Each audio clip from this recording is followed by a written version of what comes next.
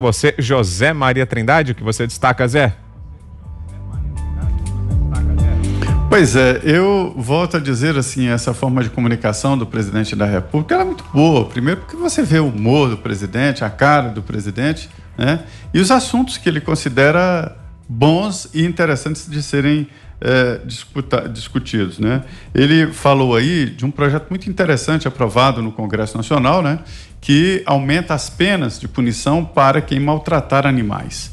Devo dizer que eu conheci aqui no Congresso Nacional é, um, um, um, deputado muito atuante, é, é, o Ricardo Izá, foi presidente do Conselho de Ética, e na época se caçava José Disseu, Roberto Jefferson, e ele me, me deu muito apoio, me ajudou muito na cobertura, e por isso nós aqui na Jovem Pan transmitimos partes importantes.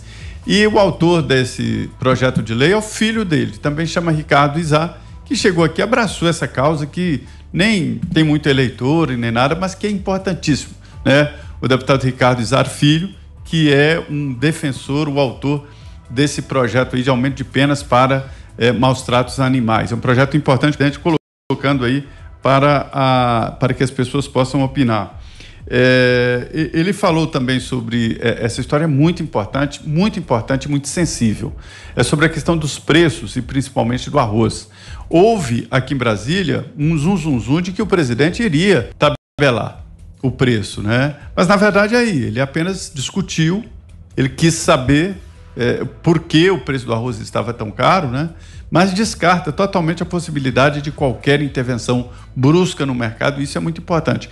E reforça a posição do ministro Paulo Guedes, dizendo com ele e discute sobre o Renda Brasil, mostrando que está ali sendo feito esse projeto importante que vai substituir. O Renda Brasil, é, o, o Anix explicou muito bem isso aqui. É, e, inclusive, eu tenho um texto na página da Jovem Pan que fala sobre isso. O Renda é, Brasil será um guarda-chuva de vários projetos sociais. Entre eles está é, o, o, Bolsa Família, que terá um novo, um novo nome, né? Renda Cidadã. E, e, e é um, uma área do governo onde irá se concentrar o, o projeto, de, de, projeto social do governo. E, e é importante porque aí o governo terá como avaliar quanto está gastando na área social. Né? Todo governo precisa de um área social, o presidente tem razão. É, ele falou também sobre. É, é enfim, é, é, basicamente isso. O presidente aberto, né? E mais uma vez mostrando que não quer entrar em polêmicas e tal, não, não quer responder perguntas sobre Supremo e outros pontos é, é, polêmicos do, do governo, mostrando que realmente está no caminho certo de negociar, tem projetos importantes a serem votados no Congresso, não pode ficar exatamente arriscando. Mas eu, eu gosto desse tipo de comunicação. A gente vê o presidente da República falando de igual para igual. E você, Fiuza, o que destaca? É, ele, ele, ele montou aquela cena, ele convidou uma, uma menina, né, uma entrevistadora mirim de 10 anos de idade, muito carismática, né, muito graciosa, é que, é, pelo que eles contaram, é, ele foi entrevistado por essa menina é, quatro anos atrás, né?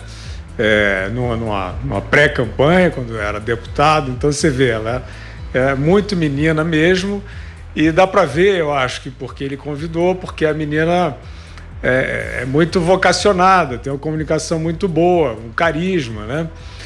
E agora, o que eu acho interessante é isso é uma live do presidente da República, né? Ele está lá ao vivo e ele botou uma criança interagindo com ele sem nenhum script ali, né? Então, tinha momentos que ele estava falando e ela interrompia o presidente, começava a falar de alguma coisa. Ele, inclusive, nessa, né, Zé, nessa, nessa questão do, dos maltratos dos animais, ele aparentemente está preocupado é que essa pena de dois anos de prisão uh, seja aplicada é, equivocadamente, né? em casos que não se possa demonstrar exatamente que foi o maltrato, foi o que deu para depreender ali da, da preocupação.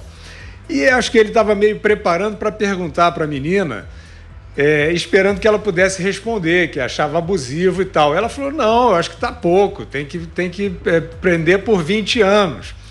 Então, é uma, é uma situação em que o presidente, de fato, é, se expõe, digamos, a, a, a, uma situação inusitada. É claro que a menina é, é, gosta dele, sabe quais são as diretrizes dele, mas não é, não é fácil, né? Você ser uma, autoridade principal mandatário do país é, é, é uma situação de fato é, é, que, que envolve um certo risco, né?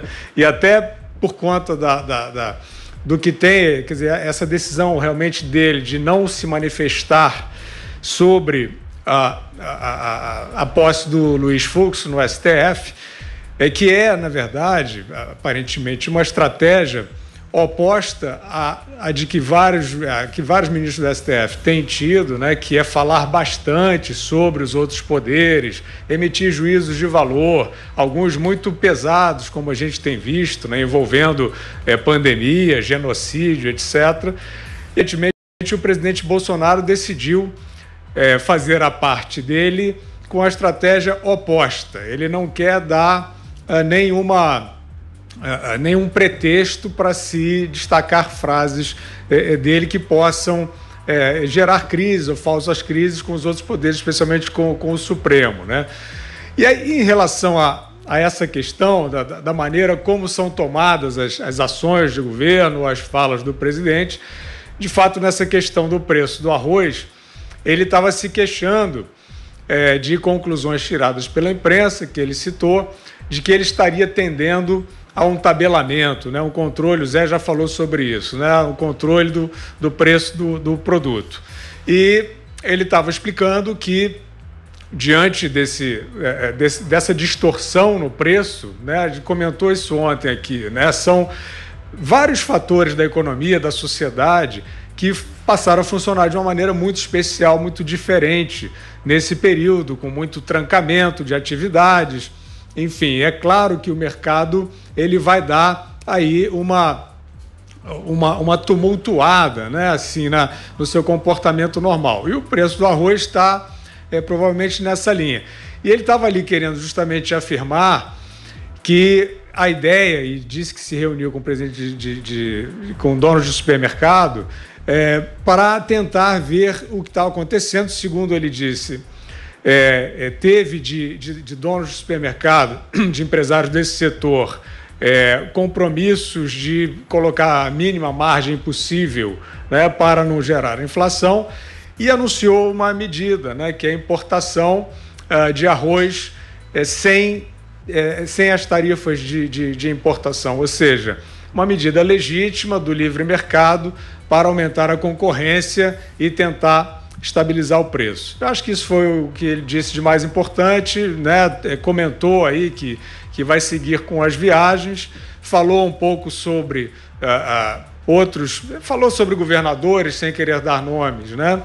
É, indicando o preço pago uh, pelo trancamento da, das sociedades, falou sobre alguns que, que ultrapassaram as medidas que pareciam a ele razoáveis e chegaram a trancar rodovias, pensaram em trancar aeroportos.